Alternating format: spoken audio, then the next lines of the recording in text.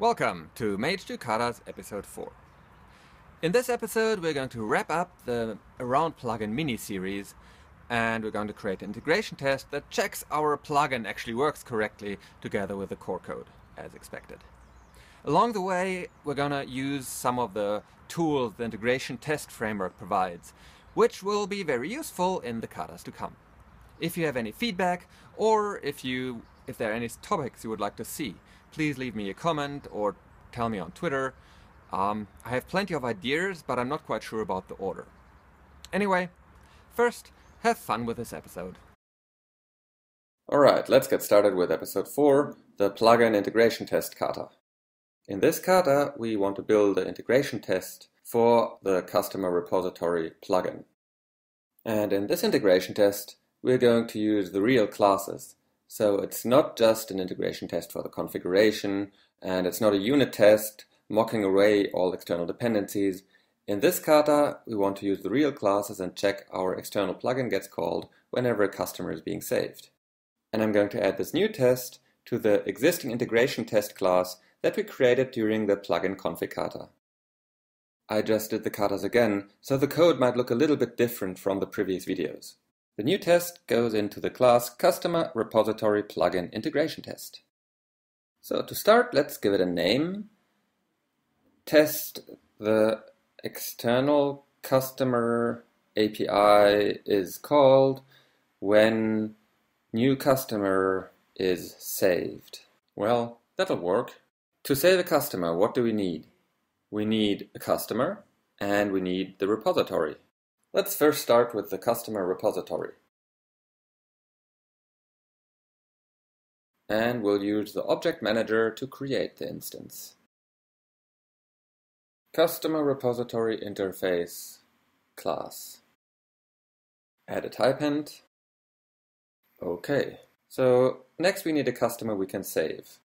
We could just instantiate a customer model populated with all the data required so we can save it without getting an exception, but that's actually more work than I want to do for this test.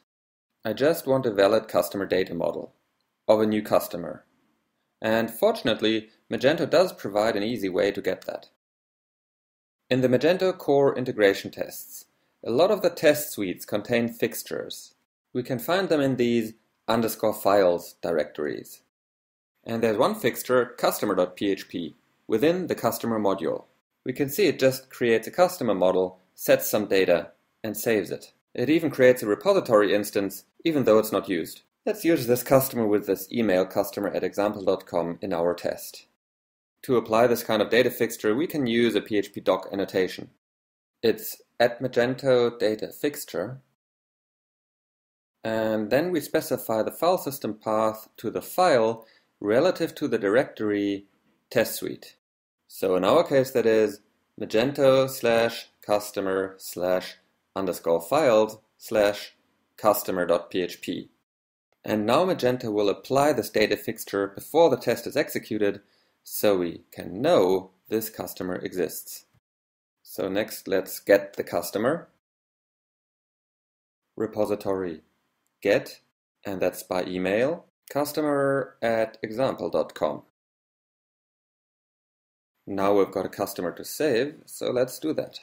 Of course, this isn't going to stay this way. This is an existing customer, but I like to check everything works so far. Now, I'll run this test. And we're green. This is only the case because our plugin is not applied in global scope. It's only applied in Web API REST scope. So let's make the test execute in the Web API REST scope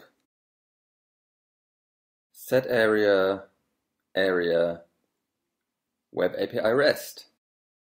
Rerun the test, and what happens? This time it'll fail. And here we go. And it fails because our plugin is called, which requires the external API, which doesn't exist. Now we could go ahead and implement that class, of course, but I don't really want to do that right now, because we don't have any specs for the external API. In a real project, I probably would make that an interface. But for this kata, let's go ahead and mock the external API again, even though this is an integration test. So this integration test will be real classes except the API. mock customer API. Well, let's call it external customer API. This get mock external customer API class. And I'll copy that for later. Oh, and we'll need to specify the method here. Register new customer, copy that also. So now we've got our customer API, but now we somehow need to tell Magento that every time it needs the API, please use this instance. And we can do that by telling the object manager the customer API is a shared instance. So we're going to call object manager configure to expand the existing configuration. The configuration that applies when a customer API should be created. We will set the property shared to true. So now if we add our mock external customer API as a shared instance, it will be used. Let's rerun the tests. It will no longer fail. Here we go. Alright, now our test is doing quite a lot, but it isn't a real test yet. There is no assertion. So let's change that. Let's go ahead and add an expectation to our mock. So I want to add the expectation that our mock customer API expects this once that the method register new customer is going to be called. So now the test will fail again. And why is it failing? Well, the expected method isn't being called. It's not being called because our customer here is an existing customer. The customer exists. Right, where was it? The customer has an ID, it has a name, John A. Smith, right? This Mr. Smith is an existing customer, so the API isn't called. So we have to tweak the customer model a little bit to make it a new customer. Let's assume John A. Smith's little sister is a new customer. So first of all, we have to set the ID to null, and to make it a new customer, that actually is enough. However, we also want to set a new email address so we don't get a duplicate email address validation error when saving. And just to complete the picture, basically just for fun, I also want to set the first name. Alice. Now, if we rerun the test, our method should be called, and we should be back to green. And we are. Great. Wonderful.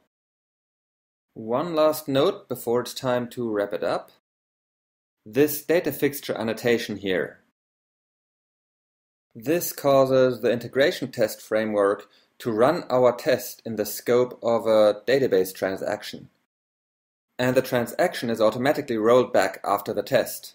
So even though we start the test with one customer and then we save another one, once the test is completed and the transaction is rolled back, no trace is left in the database.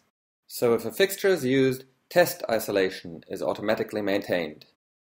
So this completes this kata and the plugin. As always, let's go ahead and delete everything. I hope you liked it. I hope you learned something. If so, please leave a thumbs up. If you have any questions or if you find a bug, please leave a comment or reach out to me on Twitter. Thank you for watching.